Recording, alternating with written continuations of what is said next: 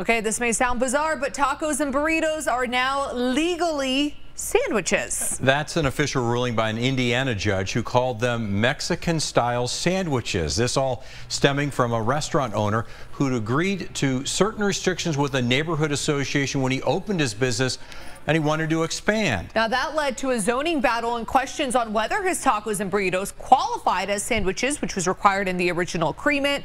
Eventually, though, the judge did clarify that yes, they are.